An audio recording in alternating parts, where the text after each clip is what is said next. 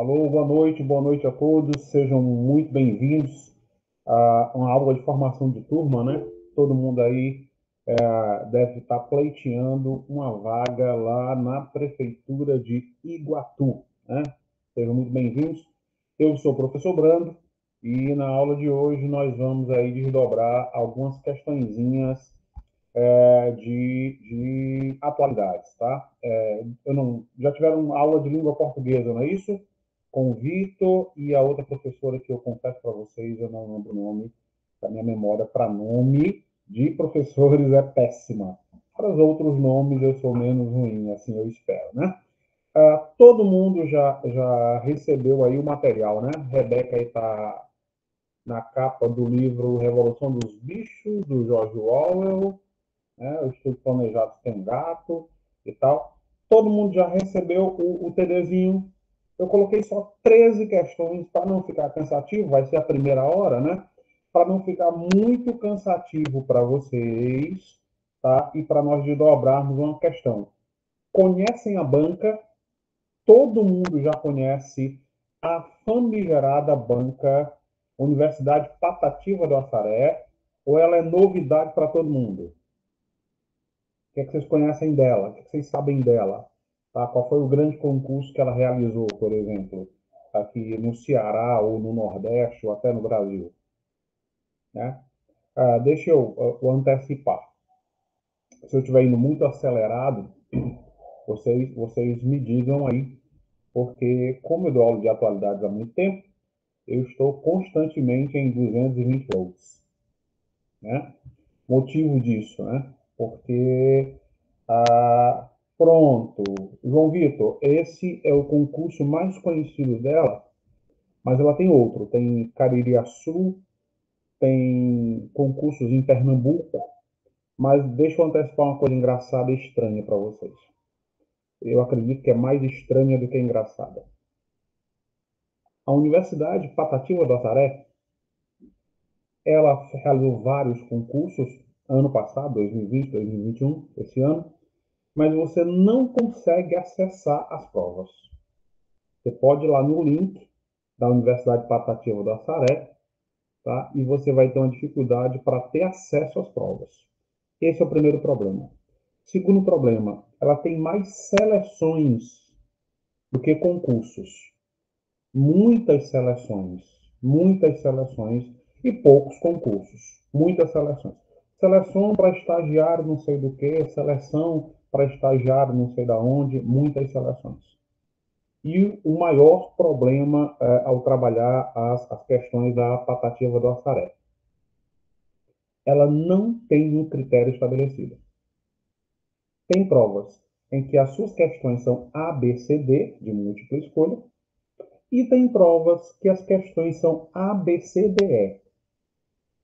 Ou seja, ela não tem um perfil único, né? Como, por exemplo, a FGV. As questões da FGV de múltipla escolha são sempre A, B, C, D, E.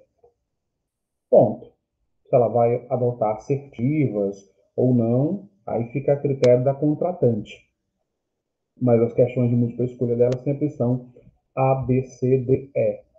Já a patativa do Assaré tanto trabalha no circuito ABCD, múltipla escolha, parecida com a US, quanto a ABCDE, que é mais o perfil da URCA, aí da região de vocês, e também do CETRED. Né? CETRED está sendo cotado para realizar outros concursos ainda esse ano e ano que vem, é, ao longo de todo o estado do Ceará. Né? Então, no nosso caso, é, nós temos um, um problema grande, grande. Primeiro vamos falar do problema, depois das soluções, tá? Qual é o problema? O conteúdo programático, o programa que a, que a Universidade Patativa da Saré se propõe, ele é um programa que só pode ser definido de uma maneira estranha. Muito estranho, muito estranho, tá? Mas melhor do que falar disso é mostrar isso, tá viu? Eu vou abrir aqui uma aba, vou dividir a tela com vocês e a gente vai falar do programa e aí depois nós entramos diretamente nas questões, tá? Ponto a ponto, discutindo ponto a ponto, e aí nós temos é, mais ou menos uma hora para resolver 13 questõezinhas. Eu acredito que seja tempo para lá de suficiente. Então, deixa eu dividir aqui a tela com vocês, né? espelhar minha tela. Prontinho. E aí, eu estou aqui com. Cadê, cadê? Pronto, aqui. Prefeitura de Iguatu. Tá? Todo mundo visualizando. Estão visualizando bem, estão conseguindo ler direitinho. O som tá chegando legal aí para todo mundo, tá? Qualquer coisa, me manda um áudio, manda um, um direct, tá? Tá aqui o nosso, o nosso, o nosso programa. E aí eu tive o trabalho, né, na coerência, de separar por assunto. Ó. Política nacional, economia mundial, economia nacional, sociedade mundial, meio ambiente mundial e geografia, história e atualidade do município. Nesse caso, é o município de Cedro, de Pernambuco, de 2011, tá? Mas essa mesma característica, ela está presente no conteúdo programático para Iguatu. Dá uma olhada só no que é que o nosso conteúdo programático aborda. Aspectos geográficos, históricos, políticos, administrativos do mundo. A história mundial são bem complicado, né? Começa da invenção da escrita lá na Mesopotâmia até o dia de hoje. A história do Brasil de 1500 até o dia de hoje. História do Ceará de 1603 até o dia de hoje. E a história do município de Iguatu, né? desde o final do século XIX até os dias de hoje. Esse é o tópico 1 do conteúdo programático que aborda atualidades. O tópico 2 é atualidades históricas, científicas, sociais, políticas, econômicas, culturais, ambientais, administrativas do mundo, do Brasil, do Ceará e do município de Iguatu. Não existe um programa mais genérico, mais estranho do que esse programa. É um programa enorme, tá? que fala de aspectos jurídicos, aspectos é, culturais, aspectos econômicos, não define o lapso de tempo. Ele não disse a partir de seis meses, de dois anos, de três anos, de 14 anos, de 1945 para cá. Então, quando a banca ela não amarra, ela não define esse lapso de tempo, esse período, nós sempre. Ah, não, João Vitor, passa longe. Se a, as questões da, da, da Patativa da Saré fossem parecidas com a da Urca, eu só posso usar um termo técnico. Vocês estavam lascados de A a Z. Que o grau de elaboração e o rigor que as questões da URCA é, são realizadas é imoral. É imoral, tá? essa banca tem questões que insultam a nossa inteligência, de tão fáceis que são, extremamente fáceis, tá? E isso é ruim para a gente. É ruim porque quando a questão é muito fácil, você tem que fazer uma quantidade muito maior de questões para atingir o perfil mínimo, né? E se essa banca ela não disponibiliza suas provas, isso é, nos dá um, um, um bioindicador. Será, será que ela também apresenta dificuldade na hora de acatar recursos? A FGV é resistente a acatar recursos, por exemplo. Tá? Não, não. Eu acho que a FGV, esse ano, nas provas que ela realizou, ela não foi muito feliz, não, viu? Pelo menos na prova da PM, é, ela, na parte de atualidades, ela não acatou os recursos, embora as questões estivessem erradas, categoricamente erradas, né, e a comprovação de que a questão estava errada, junto com bibliografia. No caso da FunSaúde, salvo engano, se a minha memória não estiver empregando peças, ela anulou sete questões. anulou sete questões e mudou o gabarito de outras questões. Tá? Mas entenda, esse ano ainda e para o ano que vem, nós vamos ter muito concurso.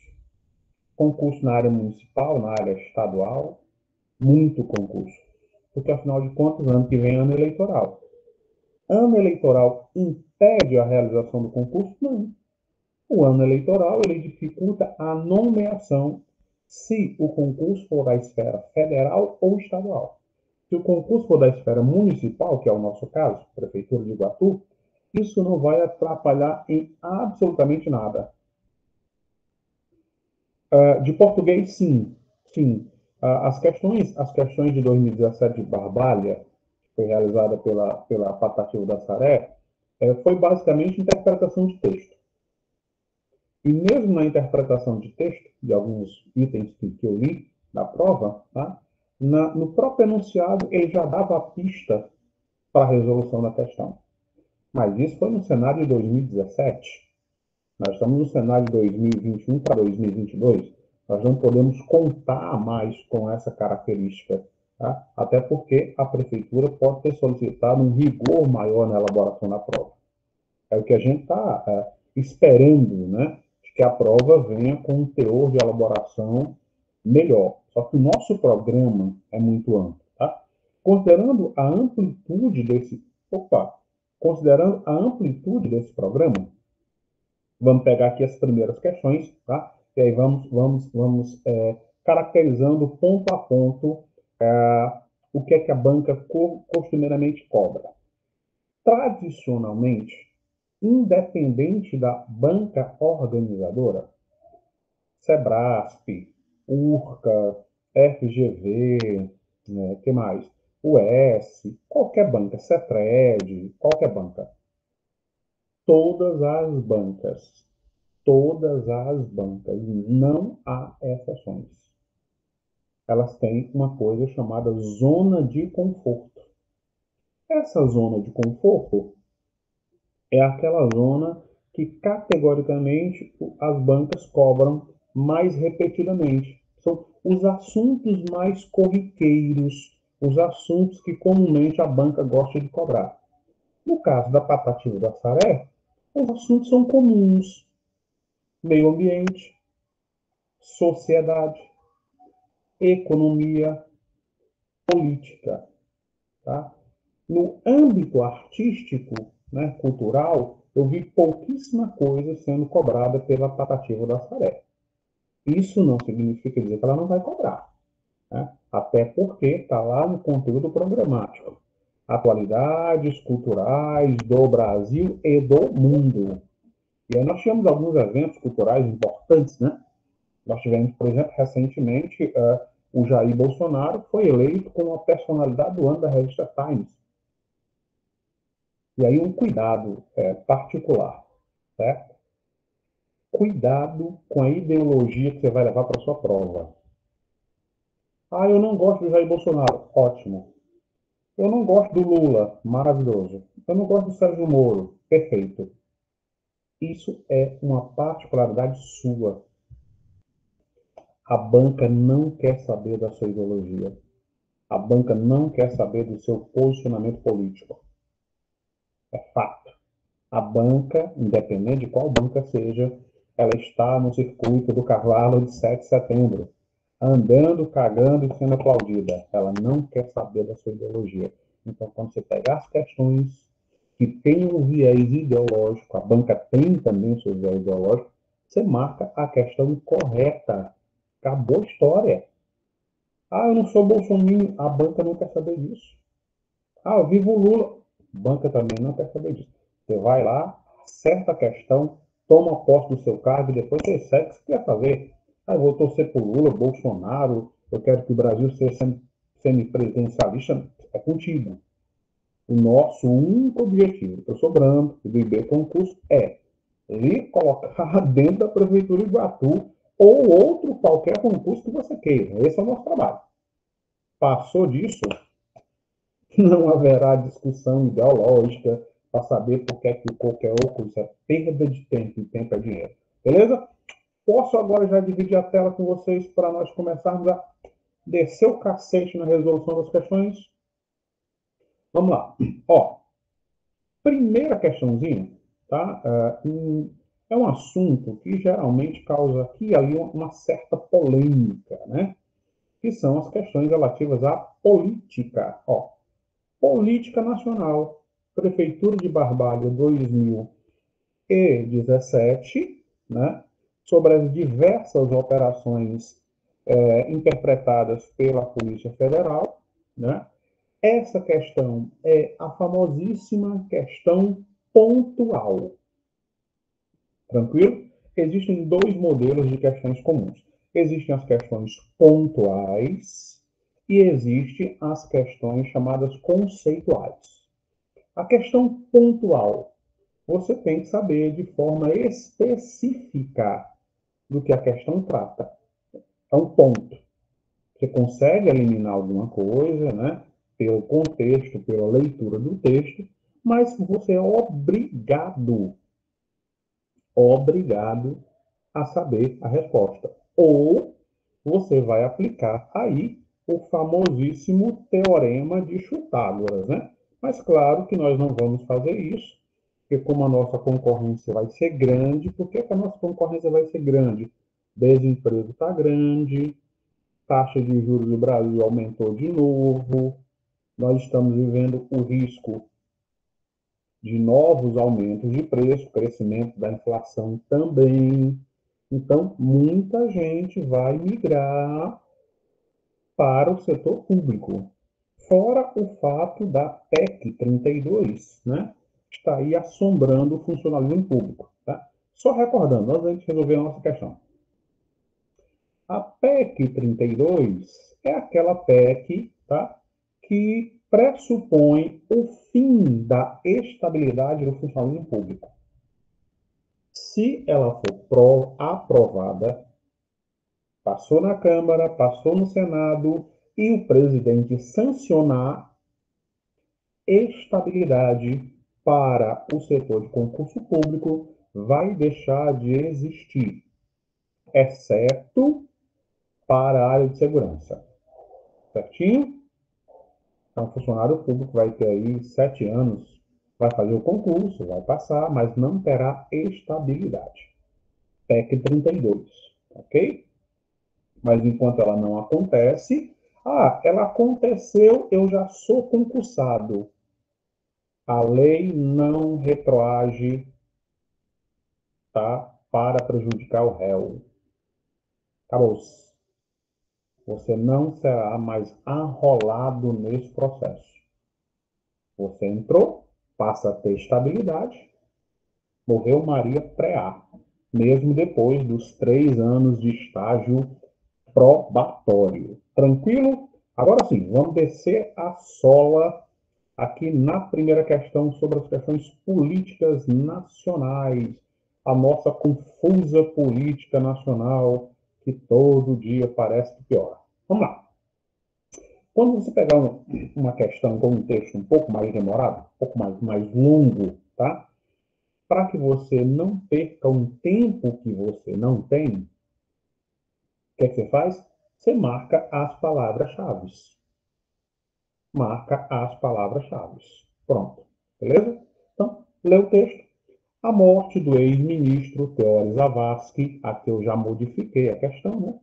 até, até aqui o concurso 2017, quando o texto foi produzido, ele ainda não tinha morrido, né? Aí o texto vai abordar justamente essa notícia.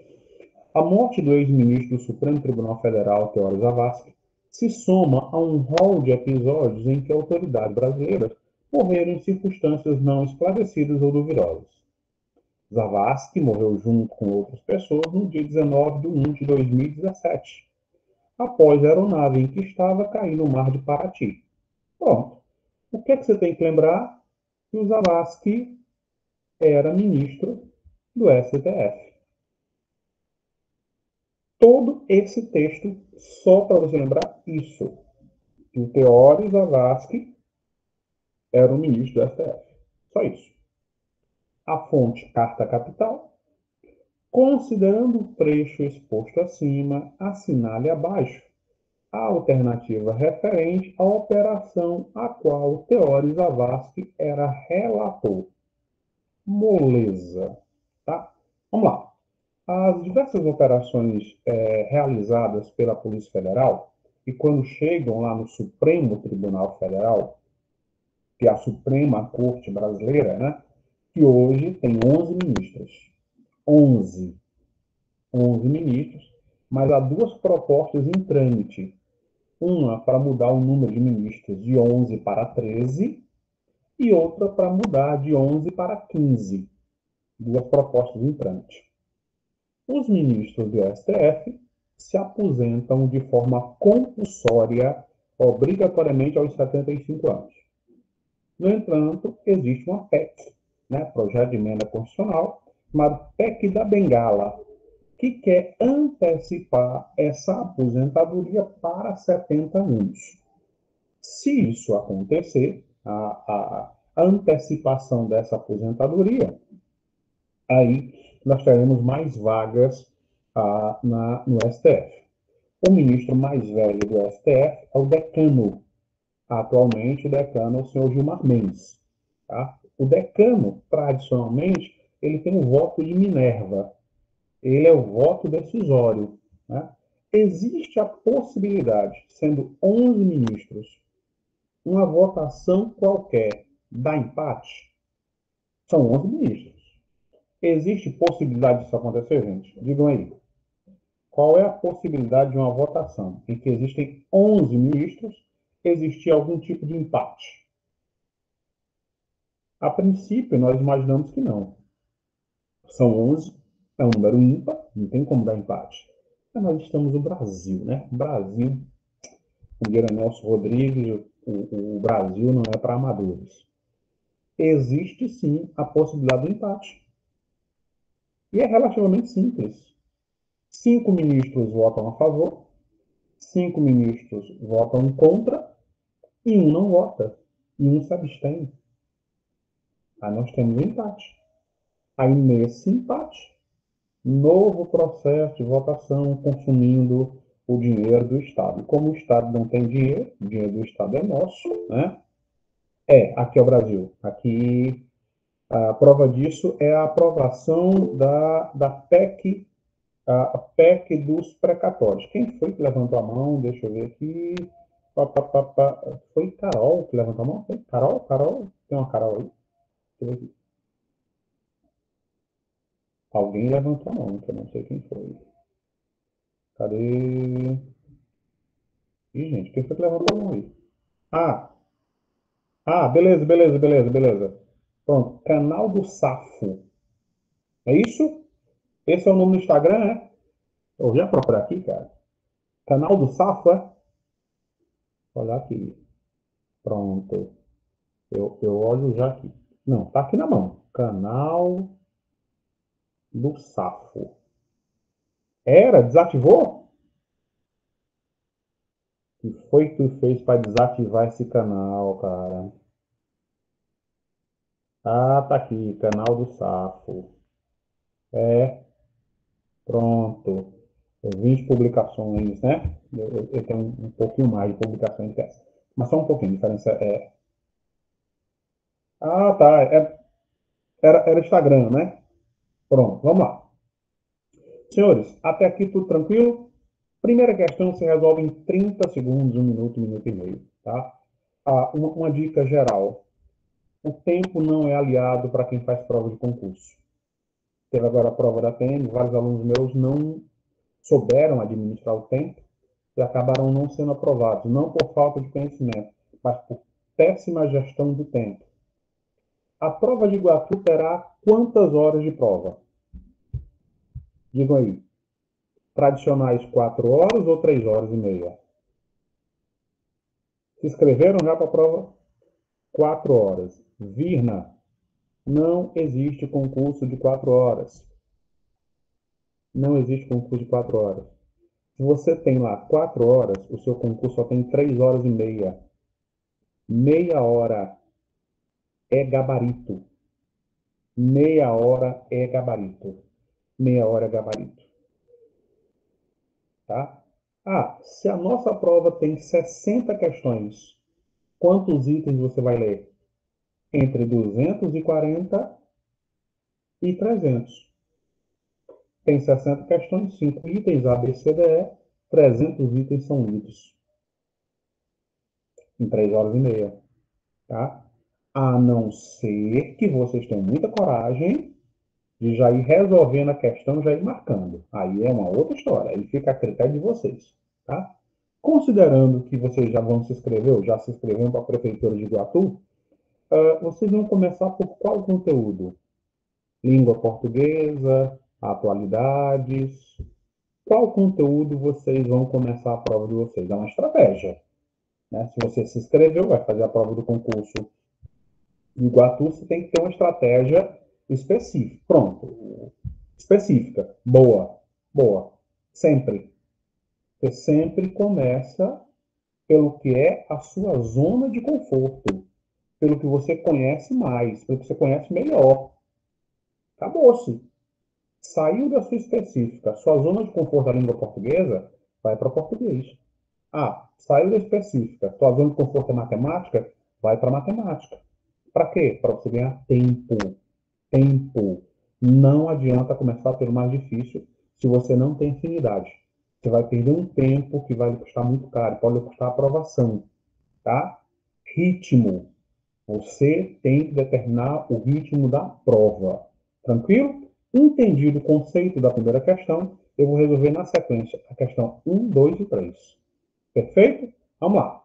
Sola na questão, porque o tempo urge. Eu tenho uma hora para resolver três questões. Tá tempo de sobra, né? Isso é o de menos. Ó, primeira questão, moleza. O STF, quando analisa é, vários casos, ela tem duas situações. Ela tem um relator tá, e o um revisor. O relator é responsável pelo processo de acusação e o revisor pelo processo de defesa. Então, vamos lá. Primeira que você vai eliminar é o item C. O mensalão, ele ocorreu dentro da gestão do Luiz Inácio Lula da Silva. E em 2017, presidente da República não era o Lula, era a Dilma. Então você descarta o item C. Anões do orçamento foi 92, 93. Né? Na verdade, começa em 90. Até 93, isso aí era um esquema de corrupção dentro do governo Fernando Collor de Mello. Então, numa questão de múltipla escolha A, B, C, D, sem trabalho nenhum, com custo zero, você vai eliminar dois itens, mole, mole. Então só fica duas operações: a Operação Lava Jato e a Operação Zelotes. A Operação Zelotes, tá, que era o nome de um partido, é, partido da época de Jesus, né, Simão Pedro, se vocês são religiosos, Simão Pedro era um zelote, Judas Iscariote era um zelote, né, e assim por diante. A Operação Zelotes investigava desvios na Receita Federal. Tá?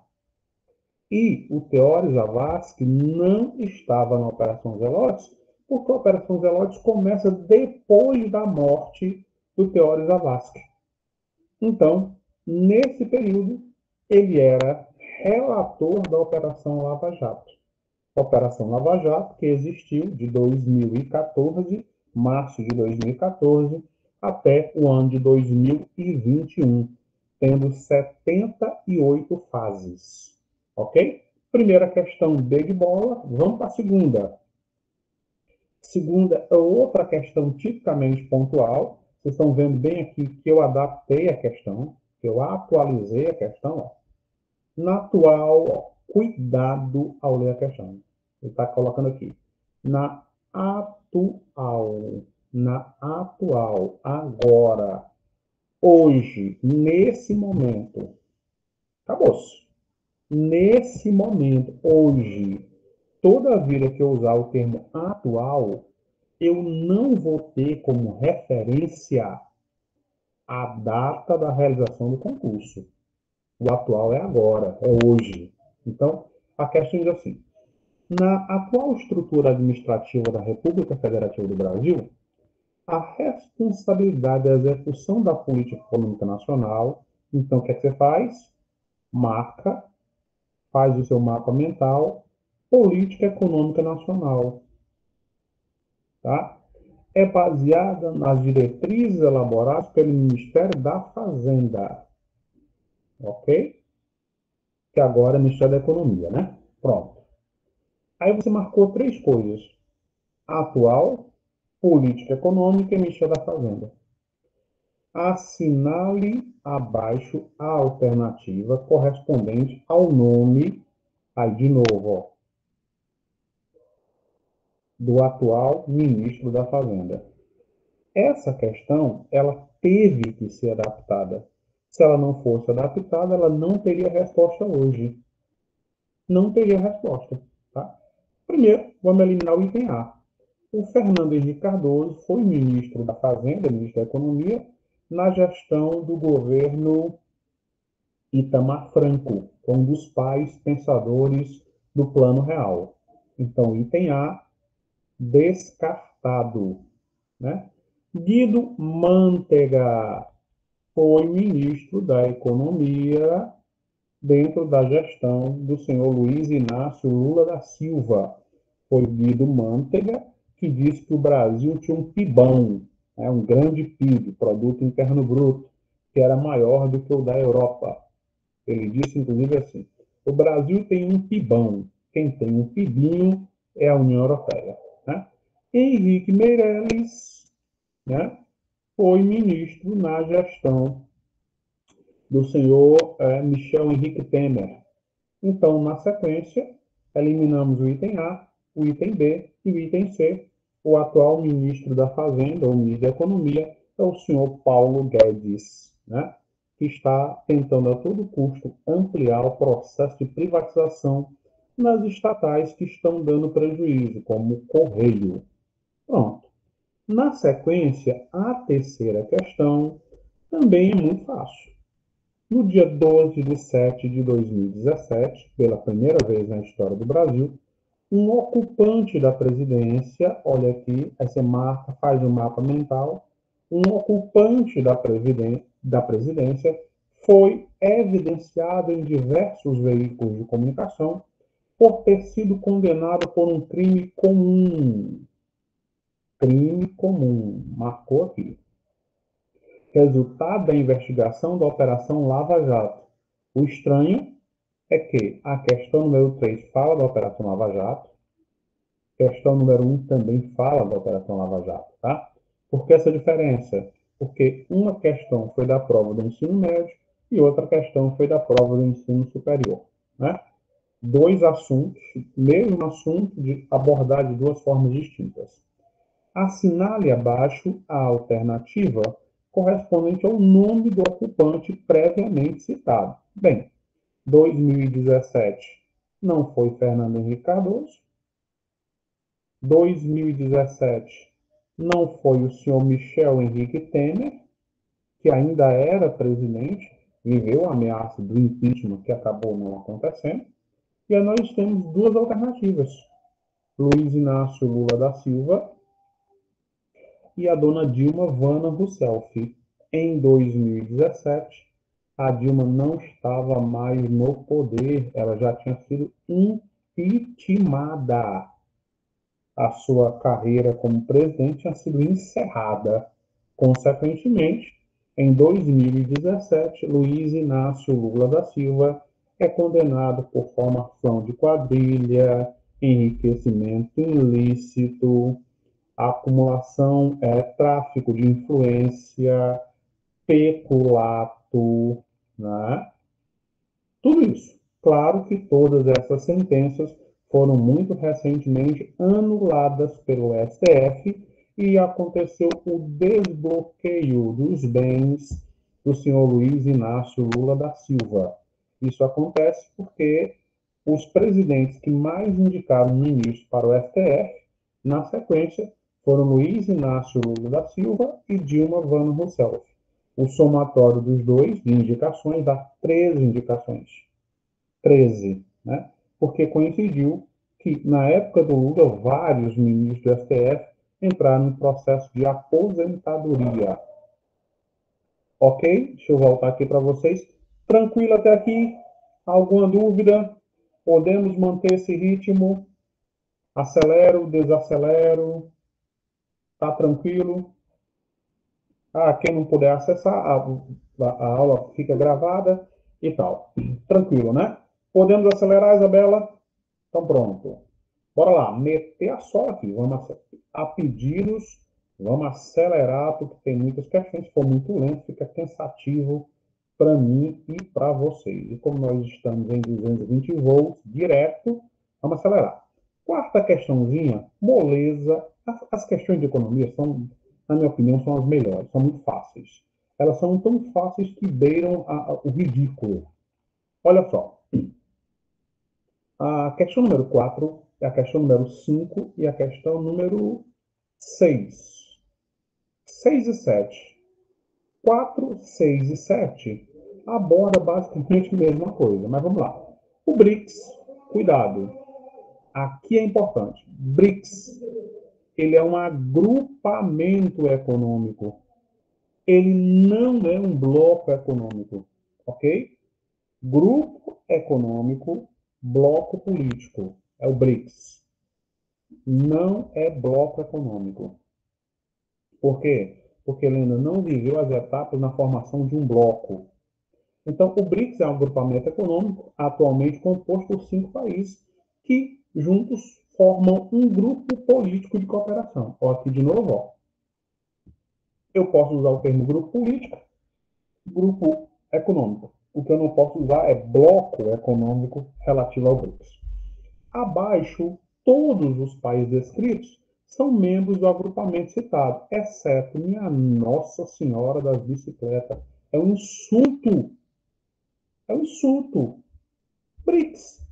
A letra B. Brasil. O Brasil faz parte do BRICS.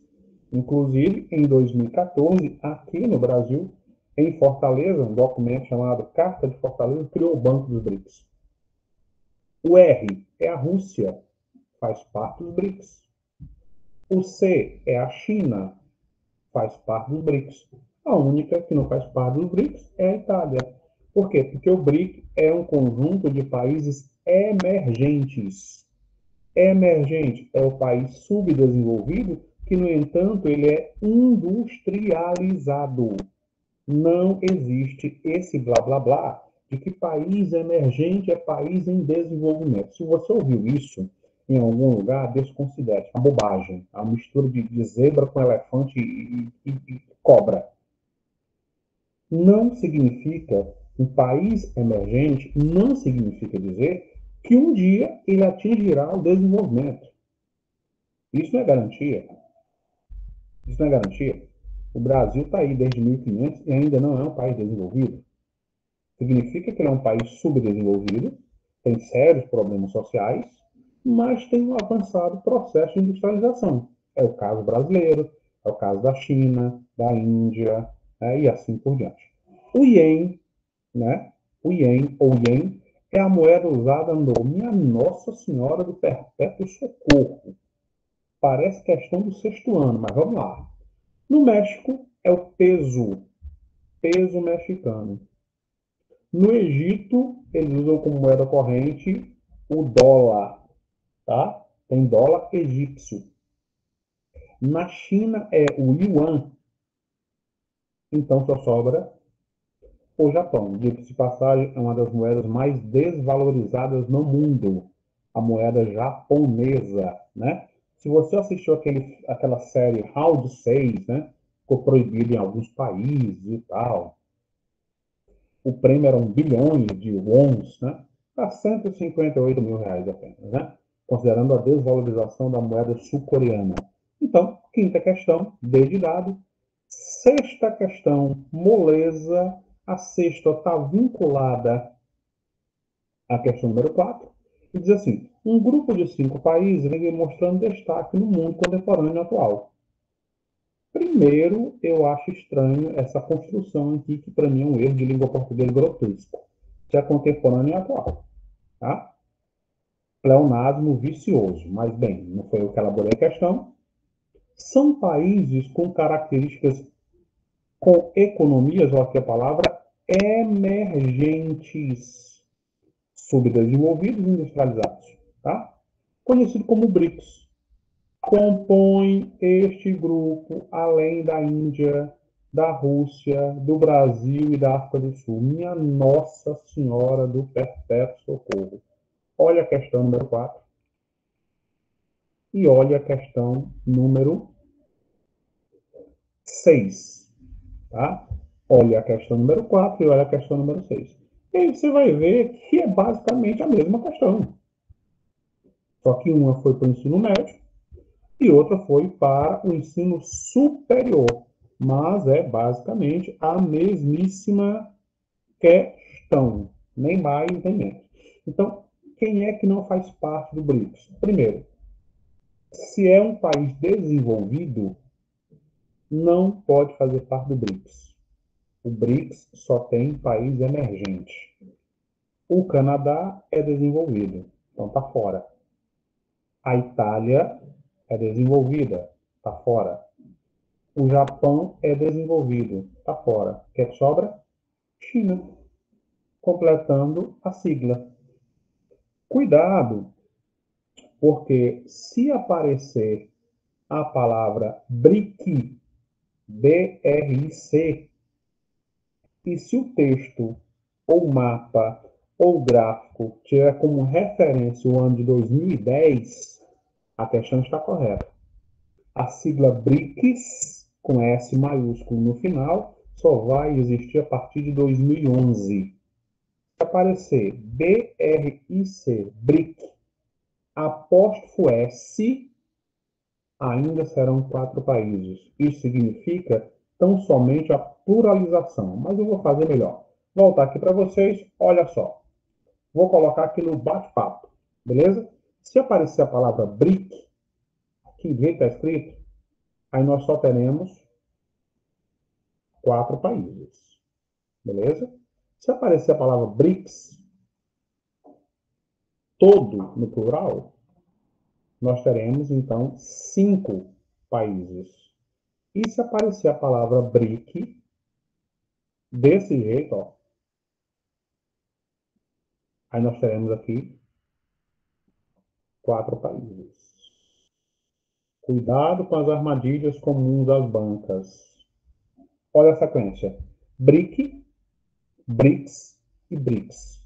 Sendo que o último é a pluralização da palavra BRIC.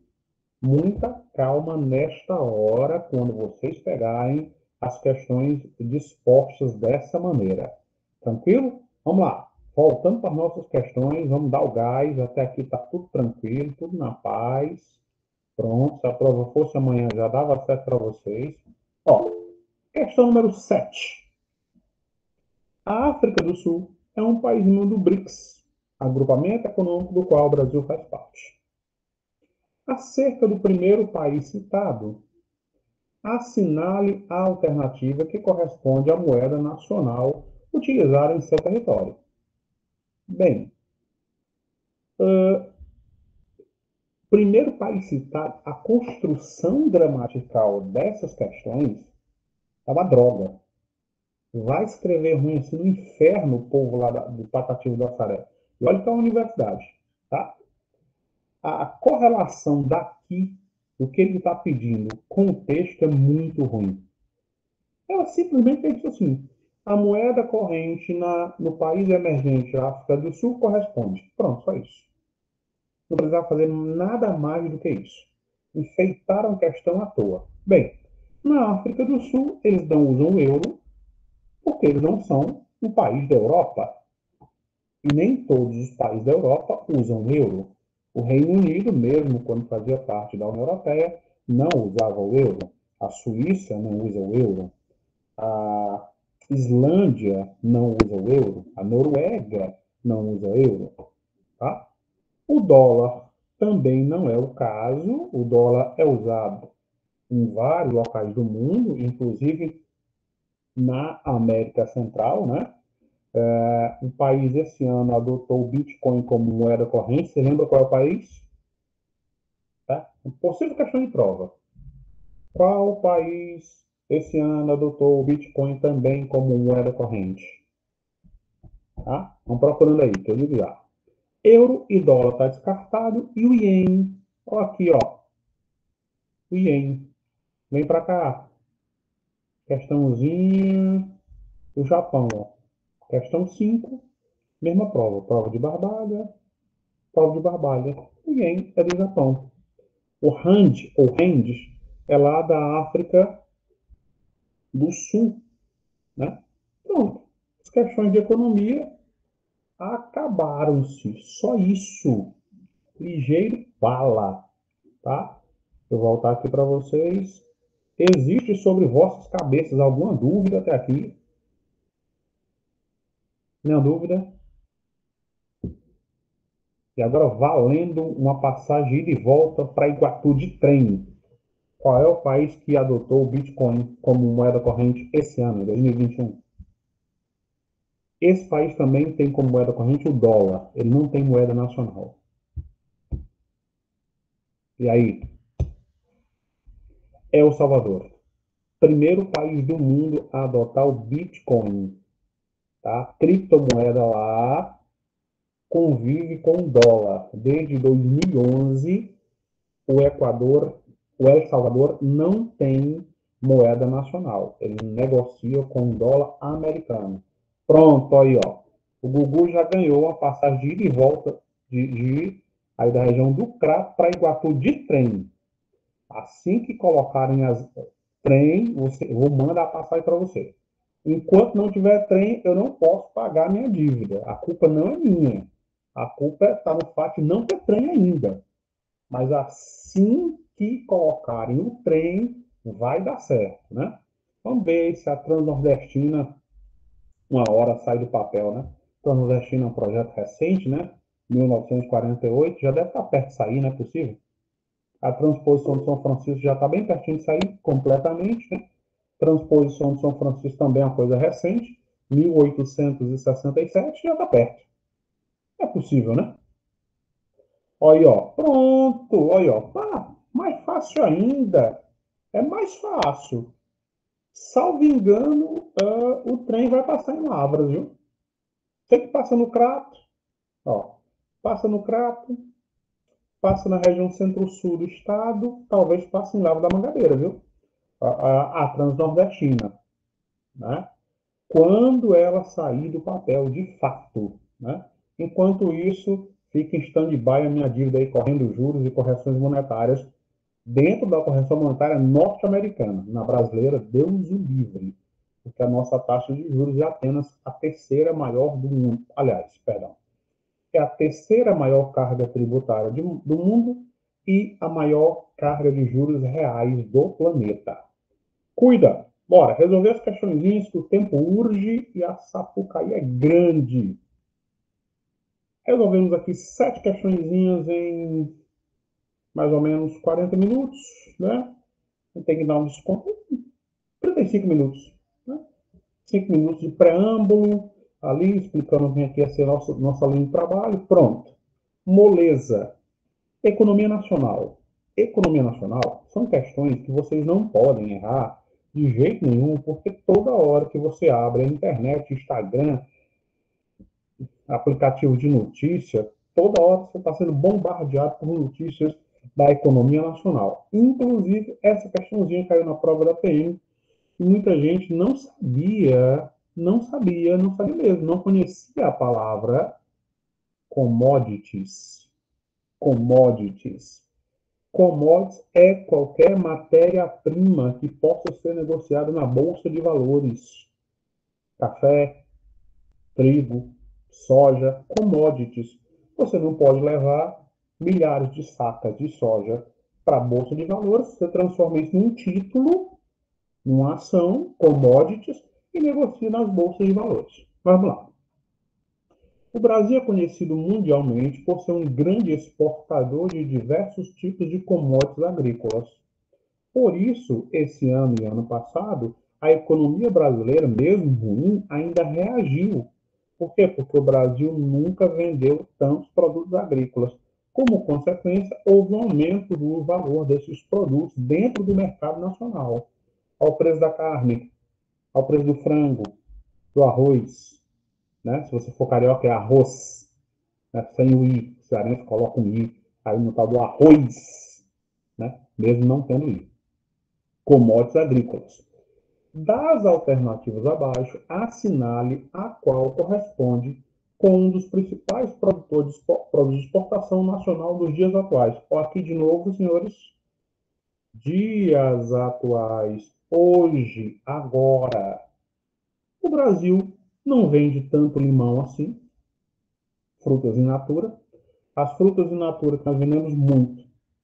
Coco, castanha, manga, melão, melancia, e o cearense, que é um ser que tem que ser estudado, nós inventamos a tal da melancia quadrada, dificilmente vocês vão encontrar aí na região de vocês, porque aqui em Fortaleza nós não encontramos, tá? Não tem no supermercado melancia quadrada, ela é produzida só para o mercado externo, nos perímetros irrigados ali do Vale do Curu, né? aqui dentro da região metropolitana de Fortaleza só para o mercado externo. Melancia quadrada sem caroço.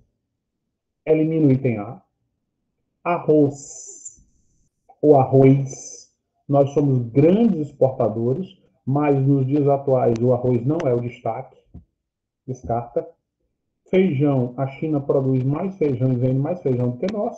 Então, hoje, nos dias atuais, desde o ano passado para cá, o Brasil se tornou o maior produtor de soja do planeta, superando inclusive os americanos. Por quê? Porque nós vendemos demais para a Europa, para a América do Norte e para o Oriente Médio. Por que soja? Porque soja não é utilizada apenas como commodity agrícola. Ela entra na indústria farmacêutica, na indústria automobilística, na indústria alimentícia, né? alimenta frango, alimenta porco, é usado no setor energético, produção de biodiesel, então, produz soja, vantagem econômica para o Brasil. Questão número 9, ridícula. O Banco Central do Brasil é uma autarquia federal vinculada ao Ministério da Fazenda do Brasil. Atualmente, seu presidente é Moleza. André Mendonça é o novo ministro do STF, indicado pelo senhor Jair Bolsonaro. Segunda indicação. Primeira indicação dele foi Caio Cássio Nunes Marques, tá? lá do Piauí.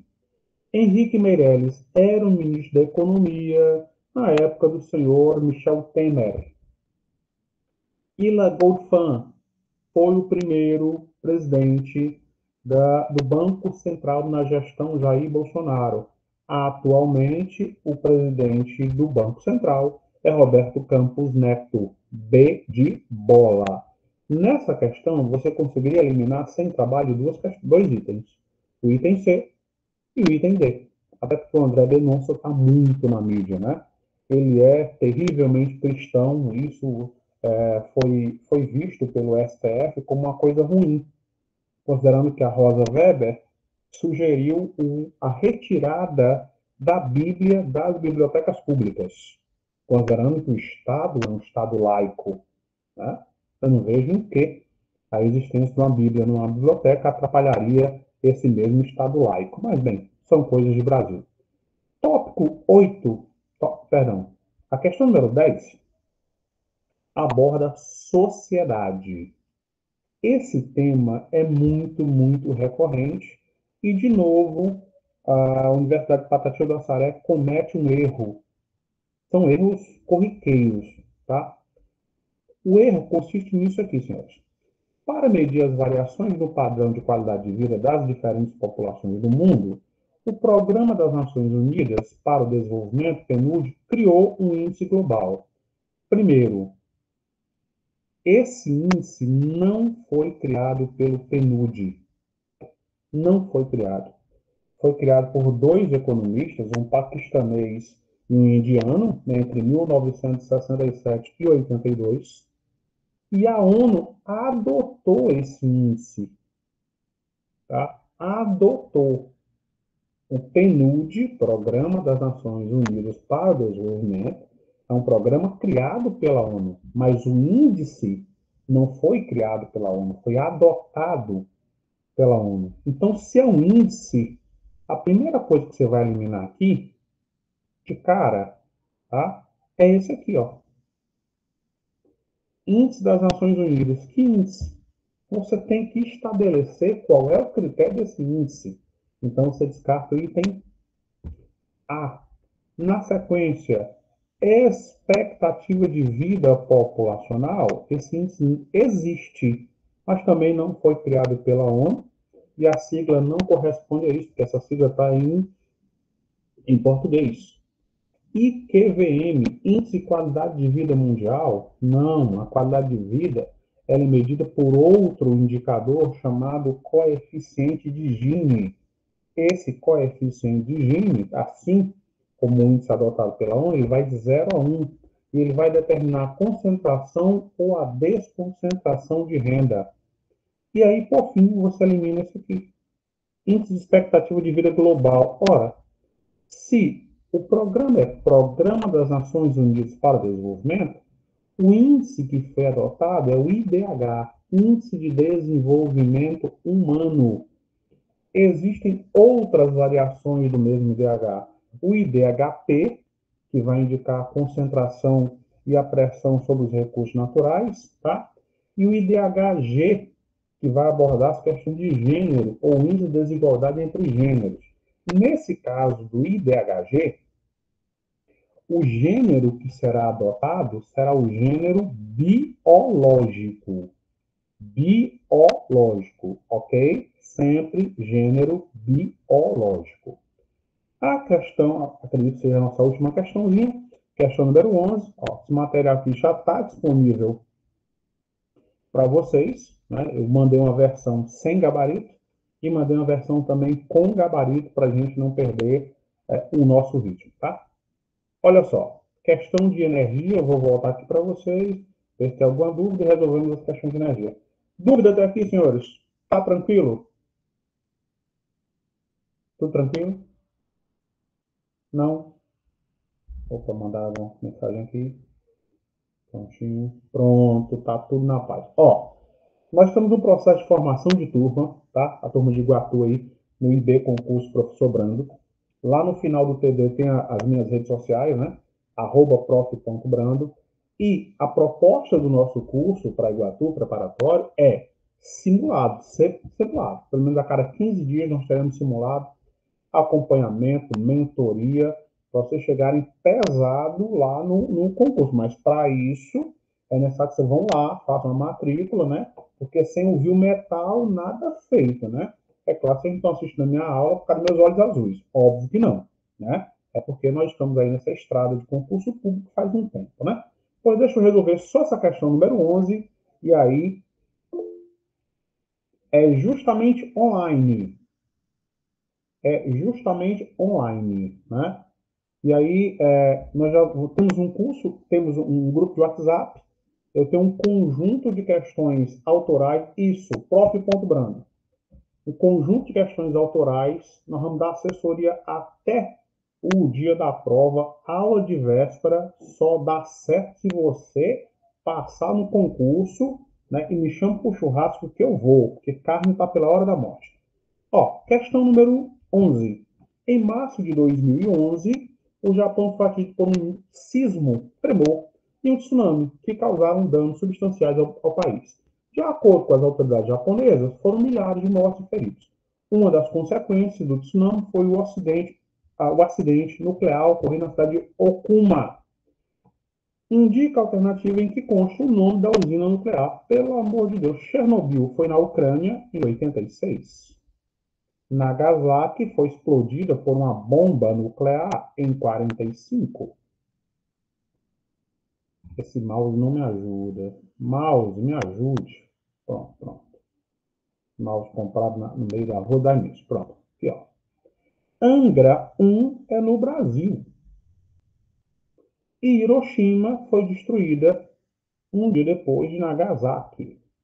Então só sobra Central Nuclear de Fukushima, questão número 11, D de dado. Tranquilo? Perfeito? Caríssimos senhores e senhoritas, senhoras, nós vamos ficando por aqui. As minhas redes sociais estão aí. Nós vamos começar o nosso curso online, atualidade, língua portuguesa, raciocínio lógico, todo o conteúdo programático do preparatório para Iguatu, tá? Com um conjunto de questões gigantescas e muitas delas exclusivas, ok? Me sigam lá nas redes sociais para eu ter mais de 10 mil seguidores e poder vender qualquer coisa.